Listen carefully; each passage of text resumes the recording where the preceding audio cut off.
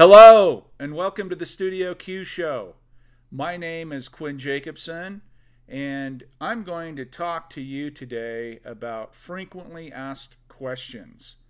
Uh, questions that I get, get over and over again.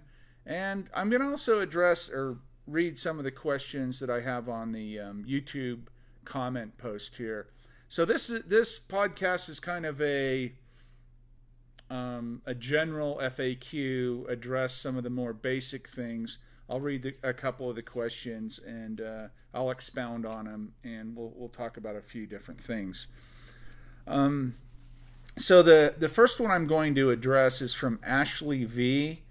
Um, she said, I think it's a she. I believe it's a she. Quinn, my first set of supplies for wet plate collodion onto Alumatypes is on its way to me. I'm starting out using a Holga to see how I like the process. Perhaps if you think of a few pieces of advice for newbies you might address in an upcoming video. I'm also excited to have found you and I'm looking forward to following new videos. I joined the farm as well and have taken many notes. Thank you. Well, thank you, Ashley. I appreciate that.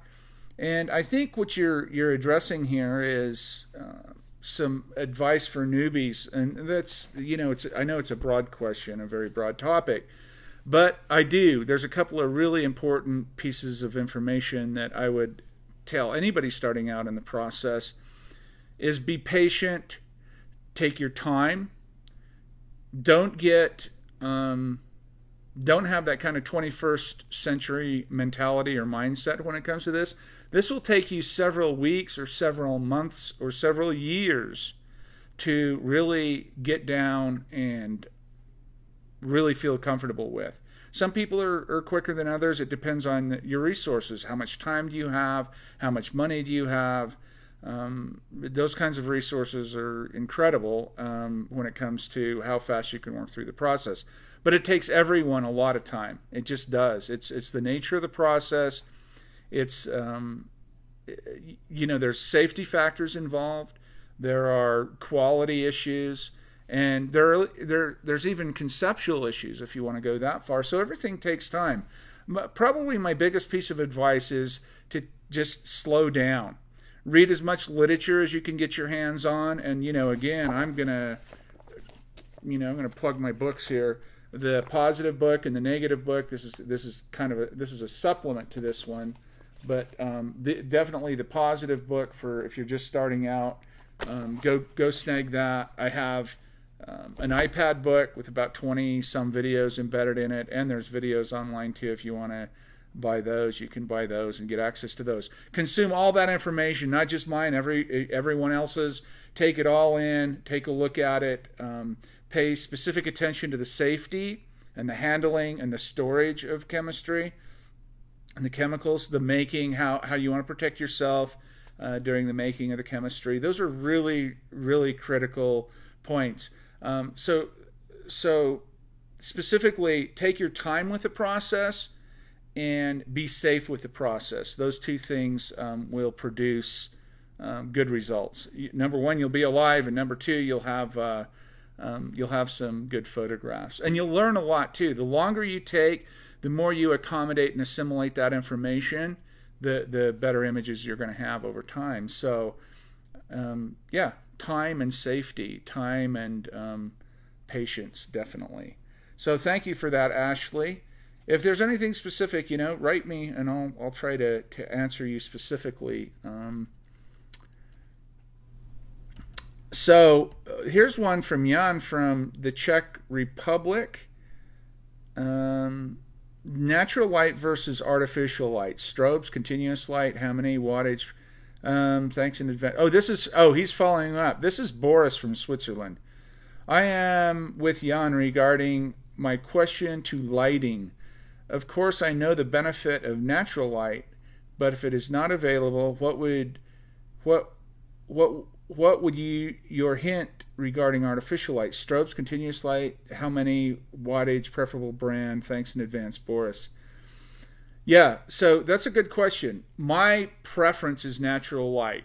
Okay, and natural light means that I'm I'm working in the 5500 to 5600 degree Kelvin temperature, right, of light. So, and it's not it's not the direct sunlight we're talking about. We're interested in the north my OCD kicked in here a little bit. Let me clean that off. We're talking about the north actinic blue light. This is where all the UV is. This is the light we're interested in with collodion. Um, this this direct light and other things we want north face open shade is the best light you can make collodion photographs in. And if you're using these old vintage lenses, the period lenses, like I do, um, it's really important that you even pay attention to which way your camera is faced.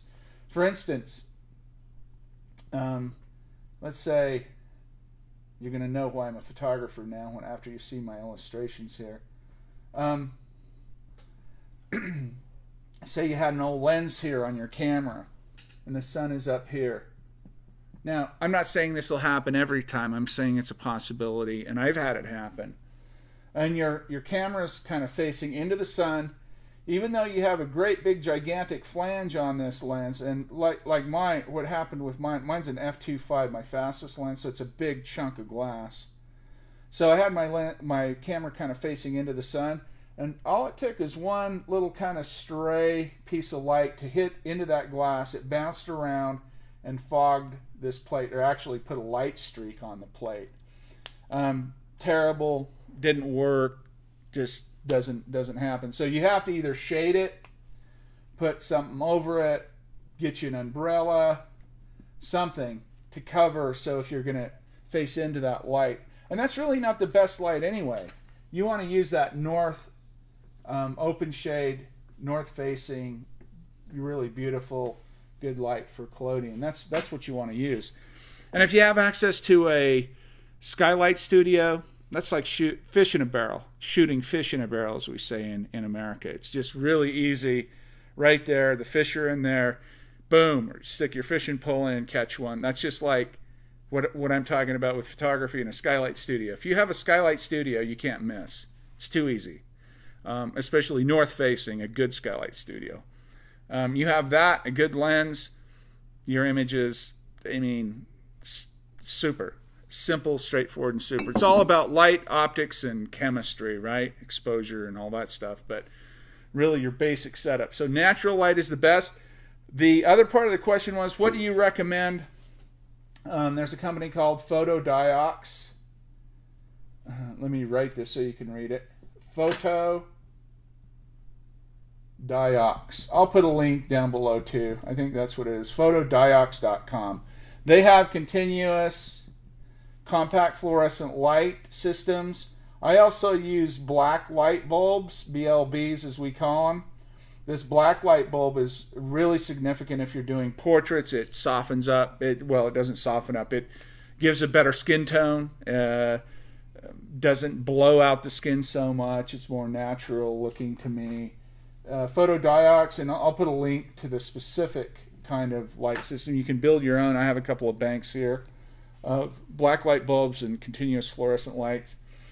Um, strobes, yeah, you can use strobes. You know, like something like 4,800 watt seconds plus, um, and you probably get, you know, you'll probably get with fresh collodion. You might get, you know, let's say at f four or f five point six you might get away with uh, one to two pops per image, something like that. Um, you know, people use them. I used them years and years ago. I never cared for it. I don't like the aesthetic. Um, it's too, I don't know, too artificial for me. I like the more natural um, wrapping light. You can you can get do that more closely with continuous um, light as well too, rather than the strobes. But it all works you might want to remove your UV um, cover off your strobes if you're going to use strobes. And if you put any kind of diffuser or anything over those strobes, it's going to it'll really cut your time uh, or increase your time. It'll cut your light down significantly. So pay attention to that. Yes, you can use anything. Look for the link in the bottom of this, and I'll show you some alternatives for continuous light. Um, com- compact fluorescent light and, and, black light. Let's see, what else do we have here? Um,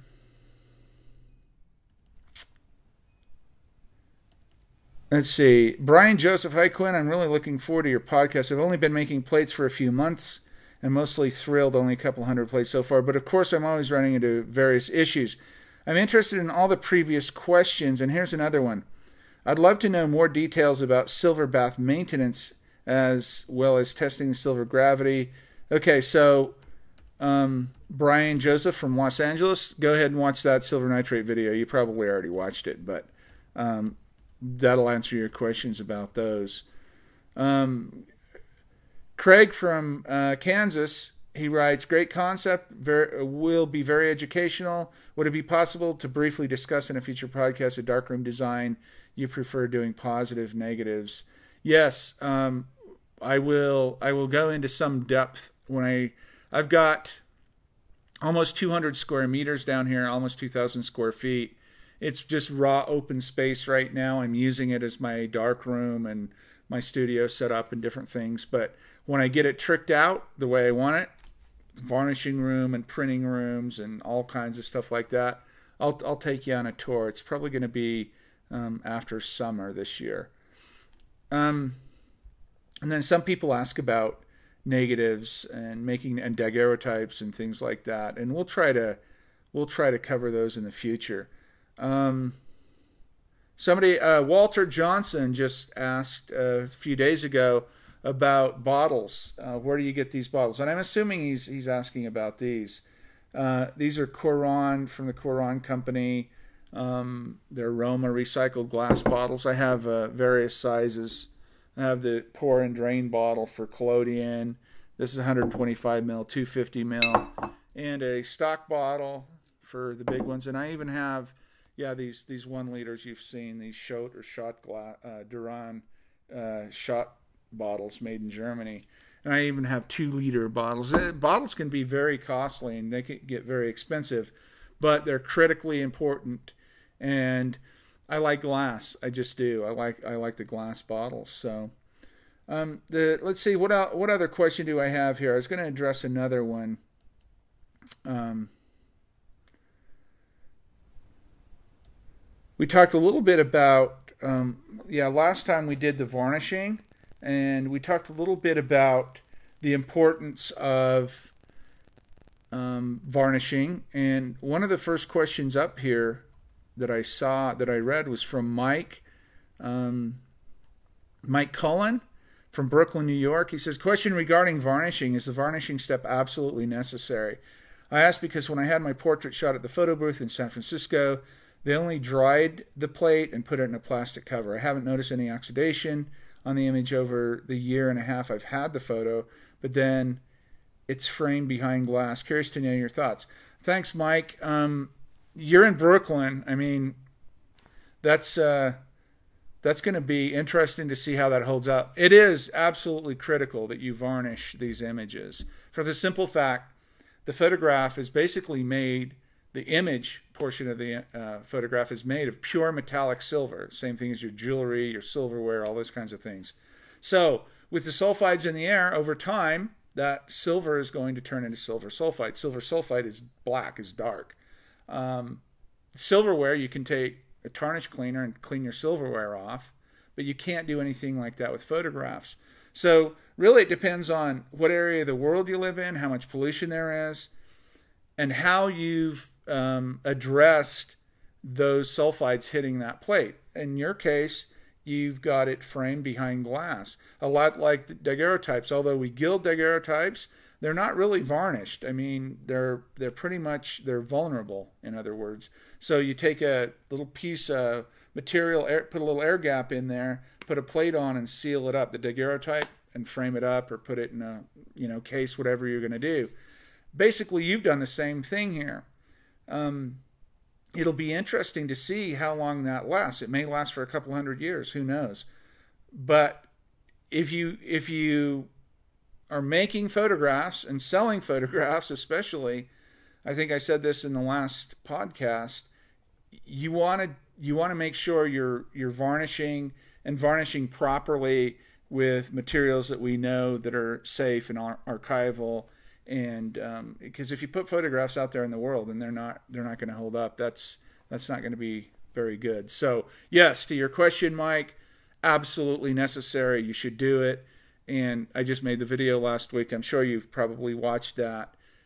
Take a look at that. That'll address your question in depth um, and and those those issues. So thanks mike cullen from brooklyn new york. I appreciate that. Let's see if i can do one more here. Um, we had on the silver nitrate bath, I think I'm going to just pop in here real quick and take a look. We had a couple of questions on that. Um, let me see if I can find it. Uh, yeah, I was at Vernon Trent from Dusseldorf, Germany. What up, Vernon? Very nice to see you, Quinn. Very informative as always. Sometimes I was afraid you'd get some drops of silver flying into your eyes. Um, yeah, I, I appreciate that. I, I hear you. And I should wear goggles messing around with silver nitrate. Um, basically, spilling silver nitrate in your eyes or having it splash in your eyes is not a good thing. It will blind you. Uh, my concern is more about the bubbles popping, and I try to avoid that and uh, but I should I should wear goggles. You're right. Um, Barney Melton, hi Quinn. I have 30 grams of silver nitrate. Am I correct in thinking that 30 grams is enough to only make 330 mils at 9%? You are correct. Also, what when you make up one liter, how much of that one liter goes into your tank for the plates? That's a really good question. Um, so Barney, the, the the idea here is so when you make a liter of silver nitrate and you're only making quarter plates or four by five images and your silver bath tank is a very small one, maybe a half liter, um, you want to fill your tank up. Half liter, a whole liter. My tanks are liter tanks, generally speaking. I do have some half liter tanks. And I have a six liter tank as well, too, for my 1620 stuff but I fill the tanks completely full, and I uh, no matter what size of plate I'm making in that specific tank, and I'll tell you why. That silver bath needs to do a little dance with the collodion, and maybe that's a, a really good podcast for the future as well too, talking about how these um, these three critical elements, the silver bath, the collodion, the developer, have to play together really well um, to make good solid images. So as that silver bath gets used to being um, introduced over and over again to a, a specific collodion mixture, um, the better it's going to perform. The better you're going to, the better result, the more stable it's going to be, the better results you're going to have. So if I were just to pour half of it in and just do four by five plates or whatever, and then reintroduce it into the larger quantity or the other half of the, the silver bath, you, sometimes, not always, you can run into some problems with that. Not always. It's just best to, to be consistent, to use the quantities, to introduce all that silver to all the alcohol, to all the ether, to the collodion, to the iodides. Let it let it work with that collodion in the full capacity. Um, you can you can also um, think of it as the uh, you know yeah basically that's what it is as you make plates, every plate that, that you put in your silver bath tank is going to add and take away from that silver bath. It's going to add solvents, of course. It's going to add some nitrates in there, and these byproducts from this little dance it does, this metathesis or this double decomposition, de- double decomposition. And as they exchange this information, and the ammonium iodide turns into silver iodide, and the cadmium bromide turns into silver bromide, you want all that consistent throughout um, your baths, the life of your bath, the maintenance. I keep a very strict kind of protocol going just for the simple fact I don't want to be messing around with chemistry all the time. I want to be making photographs. So um, that's why I use the full liter or your half liter, whatever your tank holds, make that amount and use it. Even though you're you may not I fill a liter tank up, I might only be making half plates. It doesn't matter. Use that liter, expose it, etc., etc. I hope that answers your question, Barney. Then we also um, we have some interesting questions. Um, Let me see if I can find, or at least one interesting question. Let me see if I can find it here. Um, but I have, oh, here's one. Bonze. Mm. I don't want to say your last name because I'll, I'll butcher it. C H A L H A L A. Chalahala. Hello, this is a great video. Thanks for it. Now my process is getting better, but I have one question. What if the bath is more acidic than pH 3? do we have to add water and silver or is there any other way? P.S. What happens to the plate if the pH is more basic or more acidic? Thank you. Good question, Bonze. I think that's how you say your name. I'm not really sure. um, and he doesn't say where he's from, but anything for making positive images, anything from pH 2 to pH 4 is great. Negatives um, tend to like a little more basic bath um, you leave them in a little bit longer, the uptake of the silver nitrate. You're trying to maximize the, the density of that plate or the maximum amount of free silver you can get on that plate. I've never seen a pH lower than two and a half or so, two, two and a half. Um, if your if your silver bath is that acidic, you're talking uh, pH numbers in the range of sulfuric acid or nitric acid, something like that. So I've never seen that. What would happen to a plate that went into that? I don't really know. I, am I'm, I'm unsure. I've never seen it. Um, a plate over five and a half, six, uh, your your your image probably won't form. It, it won't um, the um, be too basic. Um, so I say I've never seen a bath with pH lower than than pH two, like I just said. Baths are Baths that are more basic, say pH 5 or so, are good for making wet collodion negatives. If your baths are, e- are on either extreme, you'd want to use bicarbonate or acid, respectively. Most of the time, it will be around pH 3 or 4. So it's all about the uptake of silver. The parts of hydrogen or the power of hydrogen is all about how that silver nitrate interacts with the the uh, salts, the halogen or the formation of halogens in the collodion and the the pH, the part, power parts of hydrogen or power of hydrogen, um, plays a role in the uptake of that silver. So our magic number, like I said, for positives two to four, and a little more basic if you want to make negatives, but that's for another time. uh, Anthony Furman, I think is his name. This is a great video. It's consolidating a lot of my knowledge. One suggestion: Could you please kill the music in the background? yeah, we did that. Oh, and one question regarding the silver bath. How do you clean your silver bath tank? Christian Clant. Uh, I don't know where Christian is from, but uh, I don't clean silver bath tanks. I, uh, the most I'll do is flush them out with some distilled water and let them air dry. Typically, and maybe sometimes I'll take a clean paper towel down in there with a dipper and maybe clean the sides out or something like that if I have something on it. Typically, you don't need to. I mean, it's used for silver nitrate bath, and if that's the only thing going into it, and you can rinse them out with distilled water, but never use anything, never use any cleaners. I wouldn't even use tap water on it, to be honest with you. Um, some things are better left alone, and that's one of them. So you can, yeah, you can use clean paper towels and the dipper to clean the walls if you want to or need to, but rinse them out with distilled water, something like that.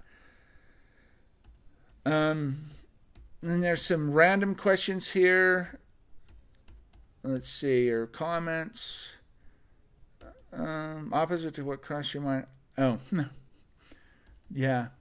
Let's uh, let's talk about let's talk about the uh, some of the, the the concepts or the philosophies about people. I got a really nice email yesterday. I, I should, you know what? I'm going to read it to you and I'll only use her first name because I haven't asked her if I can read this or not in public or on the air, but I hope she's okay with it. Um, she was very um, open and and every once in a while I'll get these. I'll get and what a what a wonderful thing to open your email. I get a ton of email, but um, usually it's all technical and it's all you know about the stuff we're talking about in these videos. But check this out. I'm just going to use her first name. Her first name is Jessica. And thank you, Jessica. If you're watching this, this is very kind. And probably every three or four months, I'll get something almost identical to this. I mean, verbatim, almost word for word. Um, Quinn, message here. Quinn, I've just started reading Chemical Pictures, right there, right? And am so moved by your writing. I feel like the introduction has been written to me personally. You've captured everything that I've been feeling lately about digital image making. I grew up in a darkroom, and now after nine years of working digitally, I want to put my cameras and phone down and go back to making something real. There you go.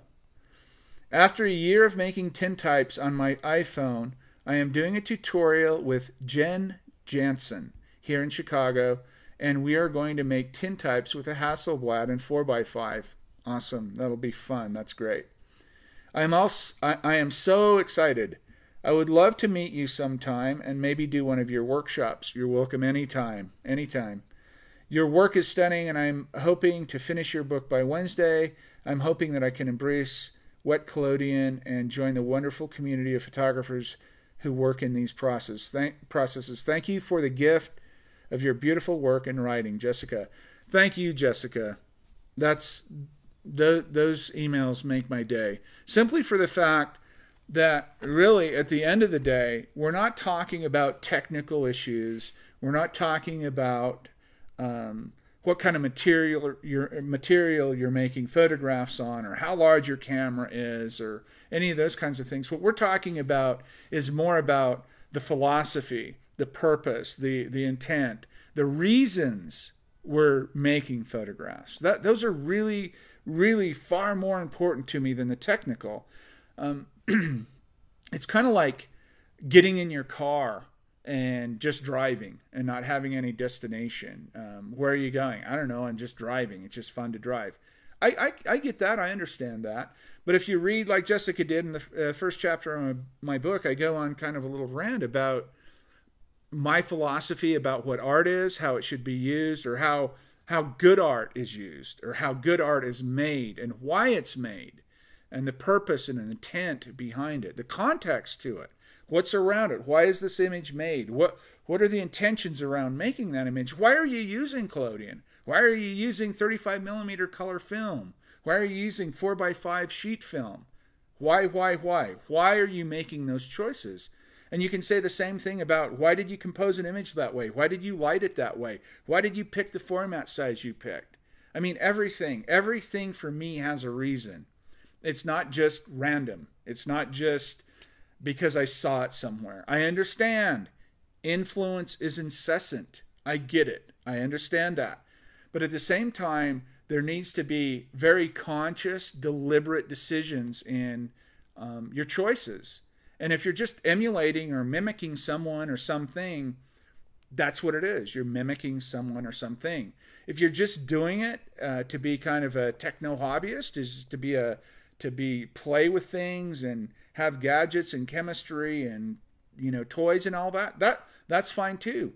I mean, but the, the photographs are why I work in these processes, why I choose to work in these processes, the reason behind them um, are really important to me. Um, there was a gentleman. Oh, I need to find this. There was a gentleman from Australia that wrote, and let me let me pull his comment up here if I can find it real quick. I think, if I'm not mistaken, he said that in the first intro here, and I just I was just coming back to revisit that. Hold on, just one second here. Let me see if I can find it. Um, I used to do this um, um, audio podcast, so you didn't have to look at my ugly mug, and uh, I did. I did talk about um, philosophical and conceptual issues quite a bit then. Let me see if it's on here. Yeah, Michael Schubert. I should have remembered your name, Michael. Good day, mate. Yeah, yeah. I hope you have a good one. I don't know what time it is in Australia right now, but uh, let's just say it's during the day. hey, Quinn, congratulations on this initiative uh, from Michael from Australia. Maybe you could revisit the podcast on slow photography. That's what I was thinking about. Um, I particularly enjoy your aesthetic insights as they make me question my own. I remember reading something about what is what is not photography by you. All the best with the new videos, home studio, and genre. Thank you very much, Michael. I appreciate that. And if I'm not mistaken, I think you were the same um, guy that wrote me about um, when I was doing my um, audio podcast. Uh, correct me if I'm wrong, but I think it's I think it's the I think you're the same person. And thank you for that. I appreciate that. And that's what I'm kind of talking about is is the reasons. And I'd like to I'd like to reiterate uh, and revisit that just for a minute. The reasons why I want to give you one example anyway. The reasons why I use the wet collodion process, and I want to refer to the um, two projects specifically that I've done. I've made three major bodies of work: Portraits from Madison Avenue uh, glass memories or Vergangenheitsbewältigung, the um, struggling to come to terms with the past, the, the European work, the Germany work, and uh, um, um, the American West portraits. It didn't slip my mind. I was just trying to think if the, the portraits from Madison Avenue and the German, the European work was showed together in a show at Santori in Paris, the gallery in Paris um, as a work called Glass Memories. There were 88 um, images in that, and a lot of them were diptychs and triptychs. So there was over, I think, 115 plates, original plates in that show. So it was a large show. It was two bodies of work. I want to address those two bodies of work real quick. Um, if you read my statement, and it's not a bunch of artsy fartsy stuff, it's I really try to be honest about my feelings and, and try to be authentic about what I'm doing. My statement addresses this process informing or supporting my work. And I think you've heard me talk about in the past my work, my tripod, my little, uh, here's my tripod, memory, identity, and difference. Those uh, keep me stable memory, identity, and difference. And I'd throw a, a fourth one in there justice. I'm, I'm a big believer in and I'm compelled toward making work that um, question social or political or even moral issues sometimes. I not I don't want to go too far that way, but so so my main concern, memory, identity, and difference. So the Portraits of Madison Avenue work was all about the memories I had growing up. Uh, with my father owned these low-income apartment complexes, and going to those complexes and being exposed to these very unique, um, marginalized people amputees, drug addicts, um, uh, just, you know, ex cons. So, Portraits of Madison Avenue was about the ideas, the questions, the concerns, if you will, uh, I had about the difference in my community versus their community. And so, my point is conceptual, conceptually speaking, is that I, I the, one of the first things I picked this process, the wet collodion process, to work in. Uh, one of the first reasons, or the first big one that came to me, was that it, this was an abandoned process, and the people that I photographed were abandoned as well too. The fragility of the glass plate, the glass I'm working with, the fragility of the people. You could even say the danger of the chemistry and the danger of the people, or those kinds of concepts kind of tie in. Um, but the, probably the one of the strongest ones that really uh, dawned on me after making photographs for quite a while. I worked on that project for almost four or five years, probably five years, close to it. Um, was the kind of the imperfection in this type of photography and the imperfection in the in in our own human nature uh, including mine, and theirs, mine. The whole imperfect nature of this process was appealing to me. Up to that point, um, even film was su- is super clean and digital is, is is perfect. I mean, beyond perfect. So there was a real connection there for me working with these forgotten, abandoned people and working in this process that kind of echoes their imperfection and fragility and all of those things that kind of surround that community. And then when I moved to Europe and I started working on the um, that that project in Europe, uh, it started out as Kristallnacht. The I was photographing synagogue sites where the great synagogues once stood, as large and small, all through Europe, specifically Germany. And Kristallnacht was about the night of broken glass, and I was working with glass, and I was using and still am using the potassium cyanide for fix. That's the very um, Zyklon B, the very chemical they used in the gas chambers to murder people. So those connections came quickly. So all this this process talk always supports my intent or content of the work. It's never it's never just kind of random, like I said. It's never just um, put out there because it's cool or whatever it might be. There's always reasons for using it, and that's kind of what um, Michael was addressing here. This kind of um, revisiting or, or re-examining the um, idea of of the use of photography and what is photography and um, I'm not really sure I know. Um, I don't really know if there's a, a, good explanation for it. I it's not that I'm um, it's not that I'm anti-digital. It's not that I'm anti-film. It's none of that. Um, and, and there are great ways to utilize and use all that. I I cross process constantly, um, going from wet collodion to um, silver gelatin paper um, to uh, digital prints to digitizing images and I, I, mean it's I'm all over the spectrum with that so it has nothing to do with that it's it's more the conceptual the idea behind that and what that means to question that to um, to think about these ideas as um, conceptual problems, if you will, and and how we're identifying or how we're defining what photography is, how it's used, why it's used, those kinds of things.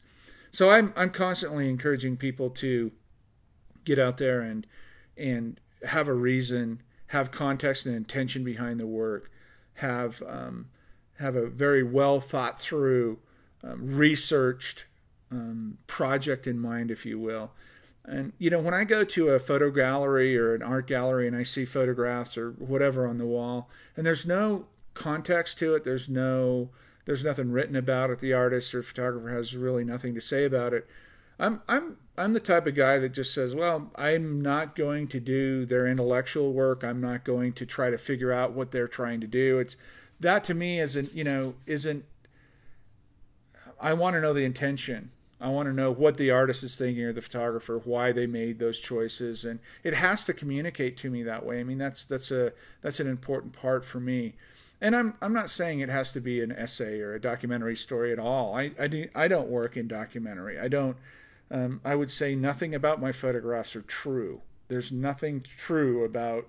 Um, there may be some truth with a capital T in some of my photographs, but there's surely nothing that's going to end up in a, in a newspaper. I worked for newspapers for many years. I was a pho- photojournalist for many years.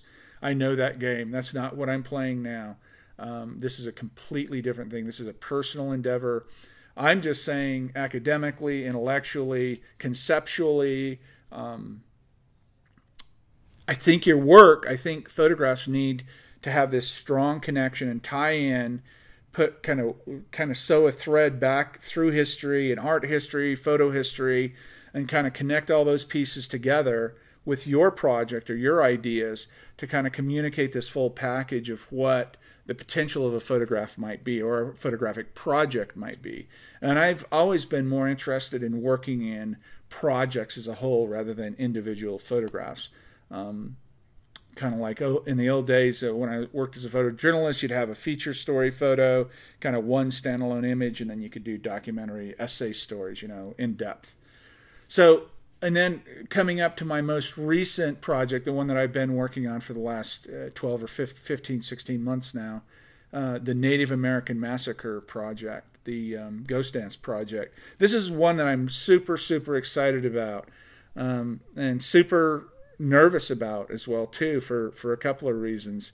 First, it's a very delicate, sensitive topic that needs to be um, addressed in a in a way that's uh, non-exploitative, not that, that, that doesn't exploit. You know, there's a fine line between exploration and exploitation, and this is, these are all areas that really slippery slopes that you can get hung up and uh, slide down those slopes if you're not careful. So I've been really pacing myself through this and making the right connections and doing, I hope, the right things. And and we'll see how it turns out. But my concept or my thoughts and ideas behind this this project, the the Ghost Dance project, is is not unlike the previous three projects. This this is supported not only by my own heritage, but by where I where I grew up, my concerns with um, uh, I threw that fourth word in there, justice. My concerns with how we, um, especially in the Western United States now, how we're looking at this this specific problem, um, addressing places like Sand Creek, the Sand Creek massacre in Colorado, Wounded Knee, the Pine Ridge, um, South Dakota uh, Pine Ridge Re- Reservation, uh, third world countries. I mean, just it, it's really difficult to make landscape photographs in a 19th century process and, and I'm making them big. I'm doing 16 by 20 inches, 40 by 50 centimeters. Um, it's really difficult to convey the emotion and the power and the problems. Uh, I'm not saying I have any answers to these problems, but the, the problems of the Indians, of the First Peoples, the, the, the First Nations, the, the tribes, the, the Native Americans, um, those issues specifically in these around these massacre sites. Um, it's um, it's difficult. It's a difficult project, and it's um, it's taken a lot more emotional and intellectual power than any photographic process power for sure. Um, and we'll see how that turns out. But the reasons behind I've, I, am selecting this pro- process to, to even do that project in is First of all, it was used during that time period, the Great Indian Wars, as, as we call them here in the West. Um, that was the heyday of wet collodion. Um, this is the process that Native Americans or Indians um, feared having their portrait made in because they felt like it, it, it, took a piece of them away, their soul.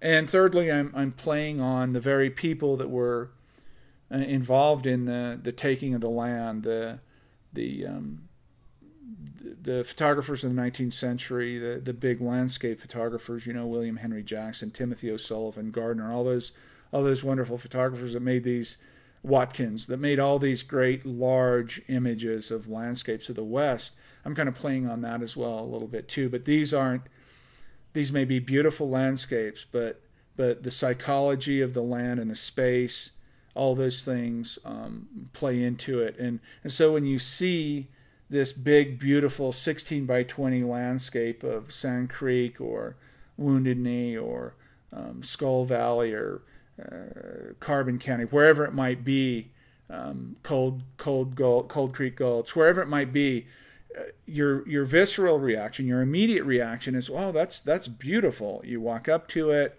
and you look at it and then you start reading about it and you read that you know 270 men women and children were slaughtered here and their body parts were taken back into denver and paraded along larimer street and ended up in the apollo hotel on display. Those kinds of things it changes the dynamic. That information changes the image dramatically.